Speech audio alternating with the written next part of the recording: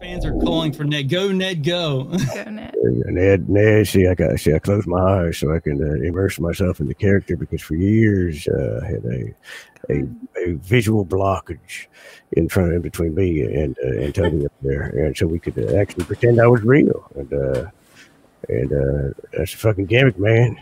What do you want, man? What do you want from me, motherfucker? Fucking supposed to be on my, on my spare time here. This is Manson's deal. He's the real talent behind me. He's always behind me. And he doesn't give reach around. Let out. How amazing An is that? exclusive. That's a Tommy Bernhard exclusive.